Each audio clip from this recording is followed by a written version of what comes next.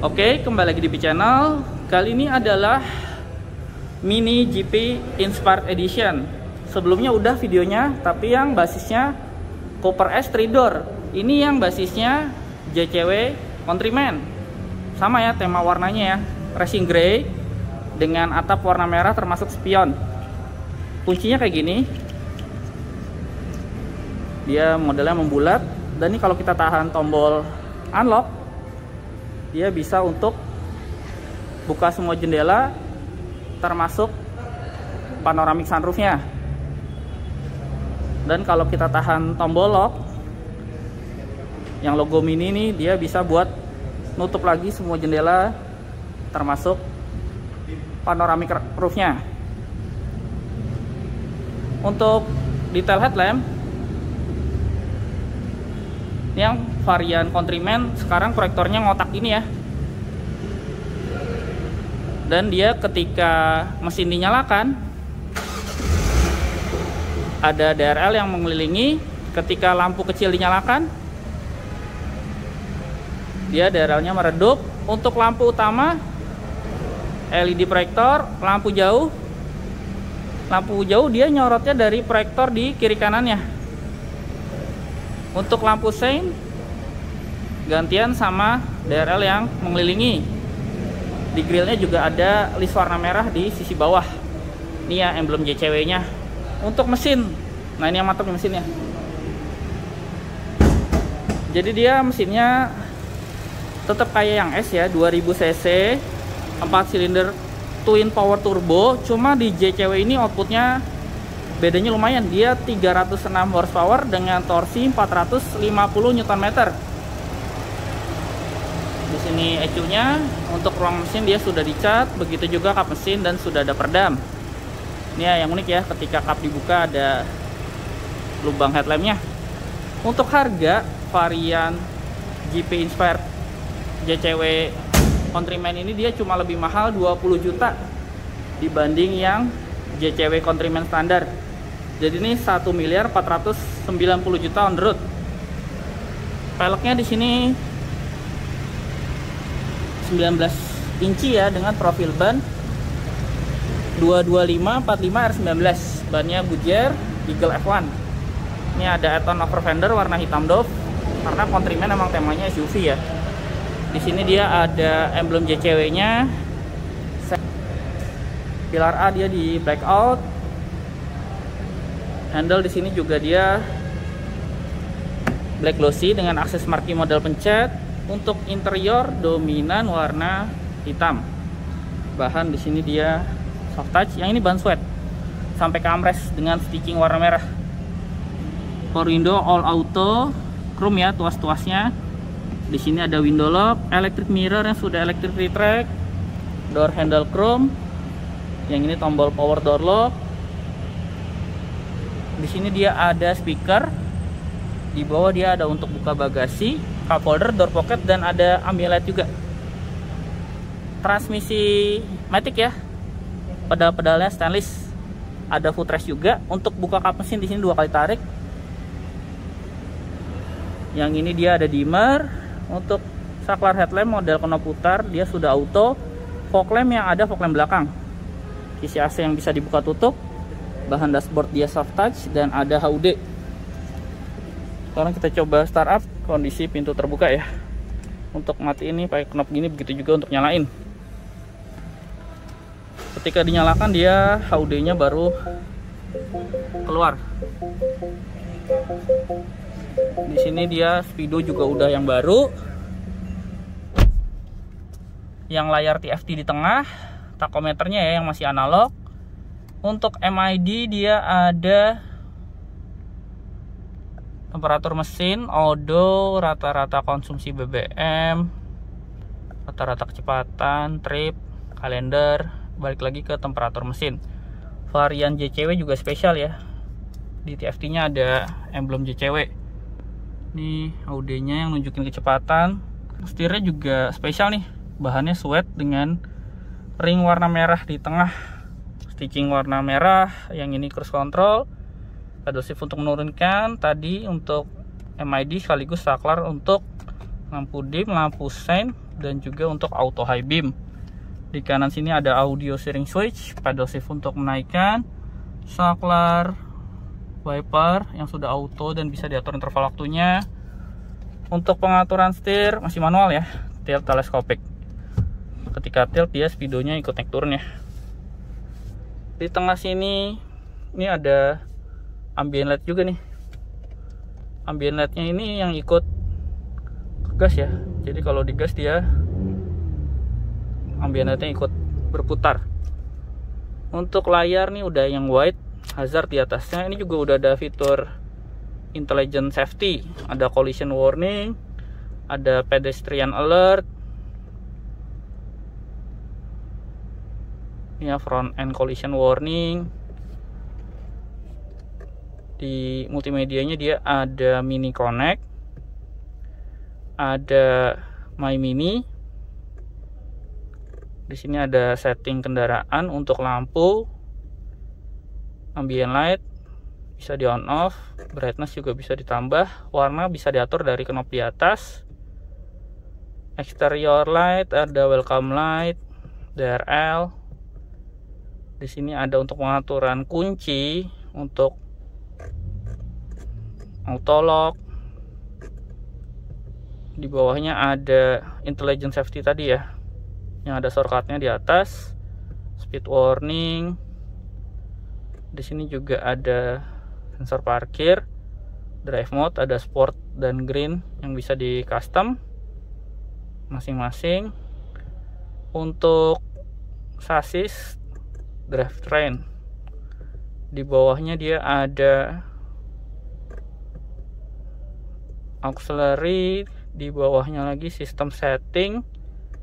Di sini ada bahasa display HUD bisa diatur dari sini.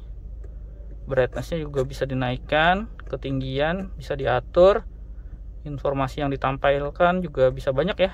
Ada navigasi sport display entertainment juga bisa ditampilkan di HUD ini untuk brightness layar utama yang ini untuk pengaturan speedo apa aja yang mau ditampilkan di MID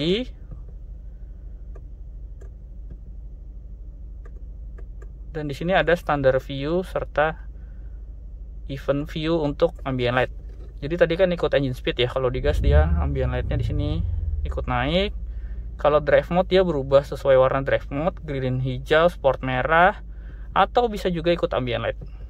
Sesuai warna ambient light yang kita pilih. Dan dia juga ada opsi-opsi lainnya. Misalnya ketika telepon masuk warna biru, ketika connect bluetooth warna kuning putih. Opsinya ada di event view. Di bawahnya jam tanggal, satuan suara, software update, di sini juga ada timer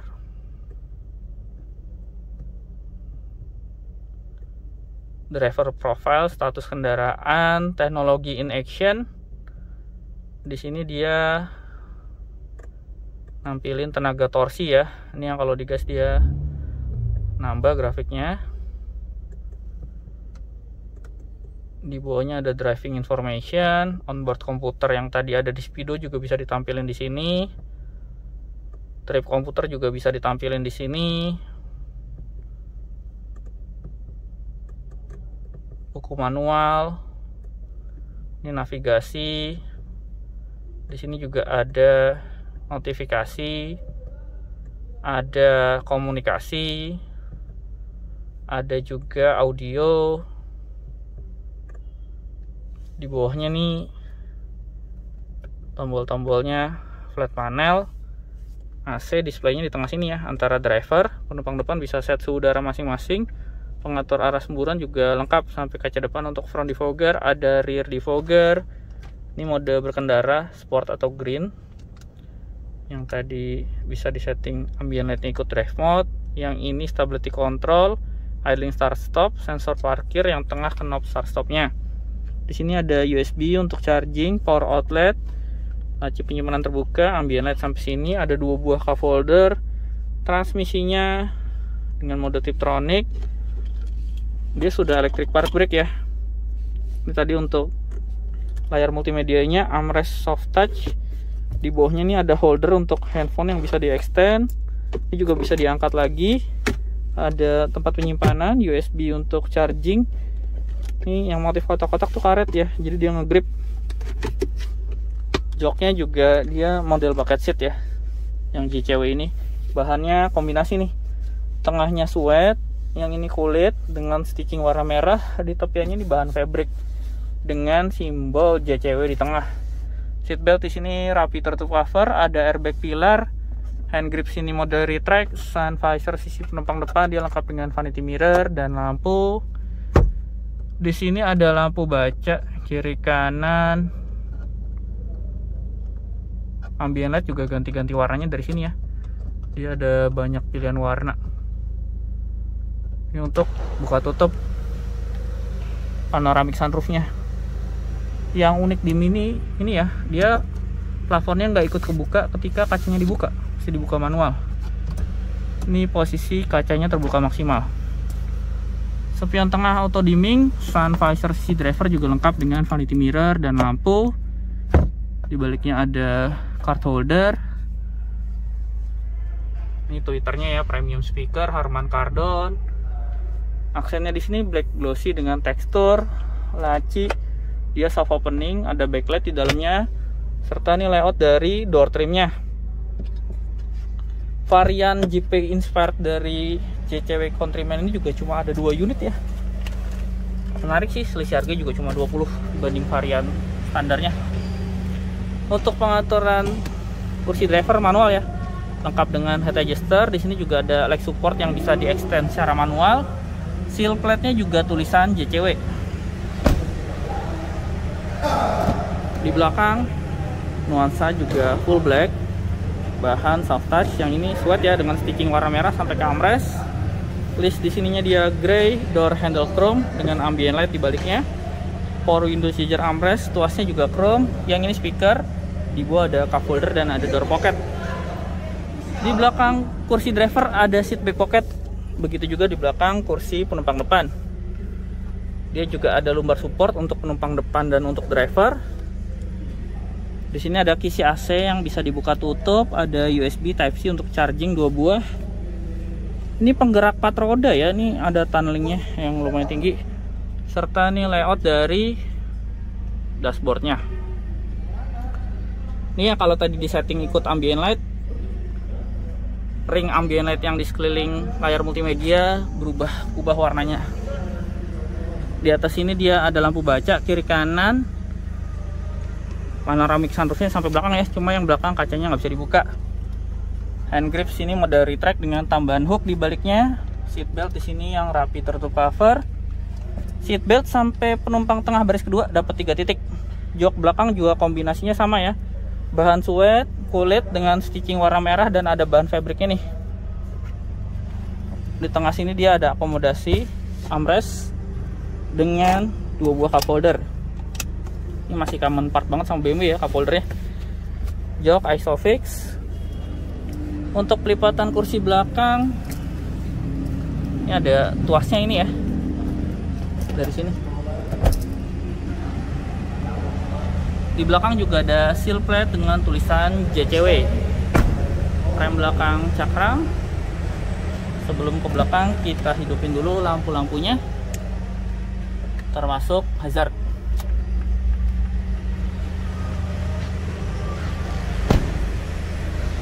Desain stop lamp juga udah yang facelift. Yang bendera Inggris, sen LED. Rear fog lamp di kanan bawah dia window line chrome yang tarikannya nyambung sampai kaca belakang di sini ada stikernya GP Inspire ada rear wiper, rear defogger, antena shark fin muffler, dual muffler kiri kanan di bumper juga dia ada reflektor emblem ininya black glossy ya termasuk emblem Countryman yang di bawah nih dia black glossy. Sudah power back door di bagasi sini ada lampu bagasi yang sudah LED ada cargo net. Di balik sini juga ada untuk kursi pikniknya ya. Ini ya masih luas penyimpanan di bawah. Di kanan sini dia ada power outlet ini ada pengait ada lampu bagasi juga yang sudah LED di atasnya sini ada hook dan ada separator. Untuk nutup bisa pakai tombol di sini. Jadi dari BMW Mini sampai Rolls Royce tombol protectornya sama ya. Ini desainnya dari belakang secara overall. Ini juga ada sensor parkir di bawah. Dari sisi penumpang depan juga ada akses smart key kursi penumpang depan juga sama ya masih manual. Sama lengkapnya juga dengan head adjuster dan leg support yang bisa di extend serta ini layout dashboardnya dari sisi penumpang depan. Oke sekian video saya mengenai Mini JCW Countryman GP Inspire. Terima kasih sudah menonton